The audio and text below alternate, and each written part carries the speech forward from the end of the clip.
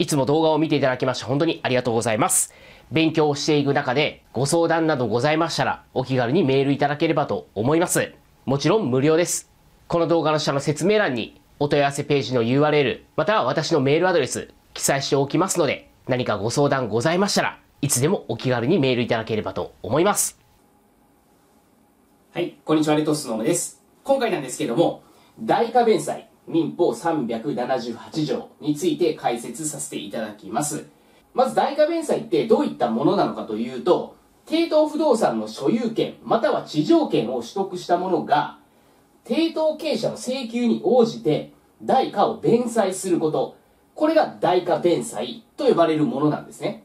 で、この代価弁済をするとどうなるのか、どういった効果が生じるかっていうと、抵当権が消滅するよ。こういった効果があるんですね。抵当権が消滅するという効果があります。で、これについては後でもお伝えするんですけれども、この弁済した金額が非担保債権に満たない場合であったとしても、抵当権は消滅します。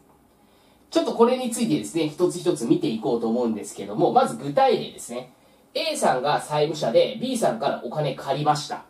で、借りたはいいけれども、B さんとしてはお金返ってこなかったら困るから、A さん所有の土地、まあ、今回で言ったら、所有権もしくは地上権、どちらでもいいです。ここに抵当権を設定しましたと。まあ、こういった状況ですね。で、今回、土地について図では示しているんですけれども、建物の場合もあります。建物の場合もあります。建物の場合は所有権ですね。に抵当権設定するって感じなんですけども、建物の場合は地上権はないですよね。あくまでも地上権があるっていうのは土地なんですよ。土地については所有権もあり、地上権もありますんで、どちらに設定した場合も含まれるんですけども、建物の場合っていうのは、建物に所有権と地上権があるってことはありませんので、建物の場合は所有権のみですね。まあ、今回は土地についてです。で、図では所有権、地上権書いてないんですけども、まあ、どちらでもいいです。どちらでもいいです。で、この状況で A さんがこの土地を C さんに売却しました。つまり、抵当権がついたまま売却したっていう状況なんですね。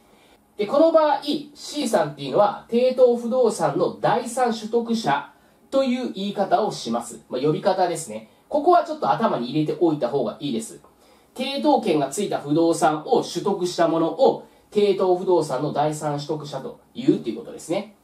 そして、まずポイントとなってくるのが、抵当権者の請求に応じて、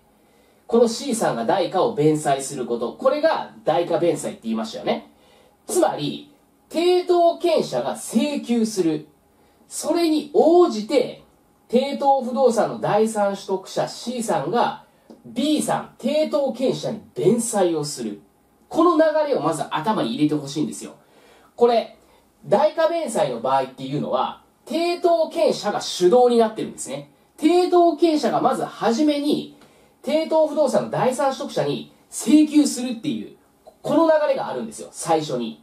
請求があって弁済をするっていう流れなんですね。この順序がすごく重要なんです。なぜかというと、これに似たようなもの、代価弁済に似たようなもので、抵当権消滅請求っていうのがあるんですよ。抵当権消滅請求っていうのは、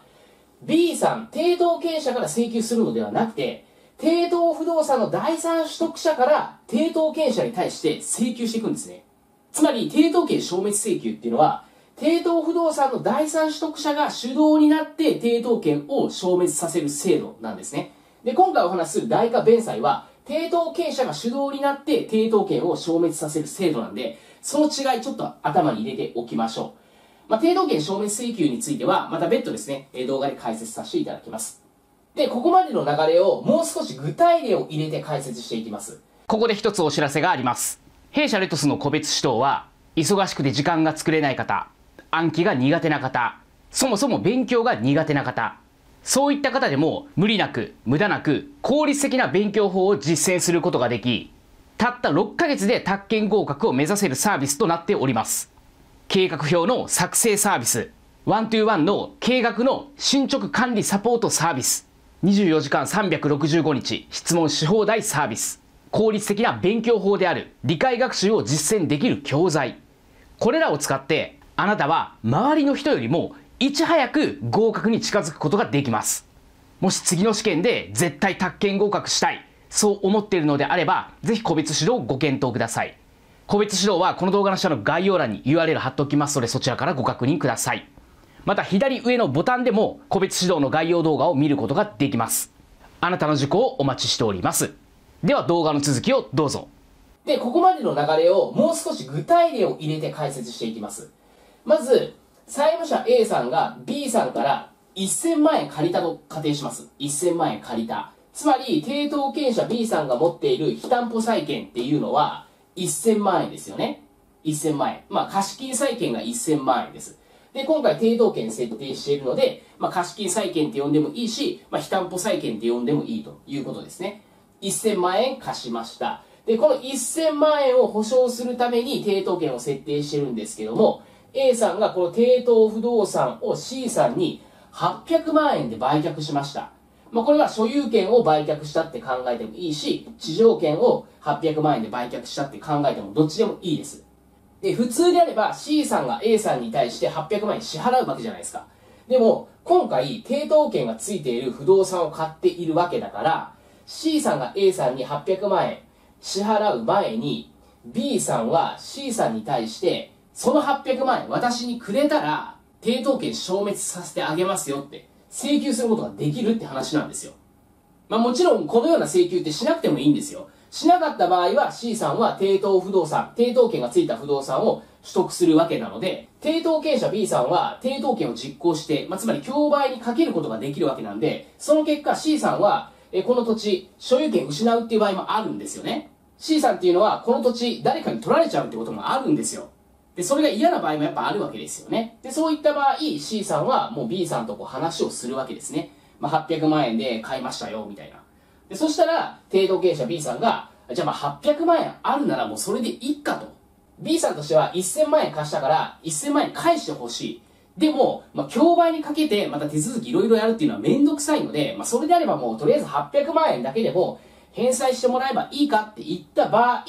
B さんは C さんに対して、じゃあその800万円私に弁済してくれたら、抵当権消滅するよっていうふうにこう請求することができるんですね。で、それに応じて C さんが800万円を弁済をする。そうすると抵当権が消滅するんですよ。ただ、200万円の債務が残るわけですよ。で、この200万円の債務については、別途 B さんは A さんに対して、えー、請求をかけていくと、まあ、いった流れになります。で、今回、この非担保債権に満たなくても、抵当権は消滅するよってお伝えしたんですけども、それは、非担保債権1000万円ですよね。で、今回弁済したのが800万円なので、非担保債権満たしてないわけですよ。1000万円丸々もらったわけじゃないですよね。丸々もらったわけじゃないけれども、抵当権は消滅しましたよね。まあ、これも一つのポイントなので頭に入れておきましょう。特に重要なのはここですね。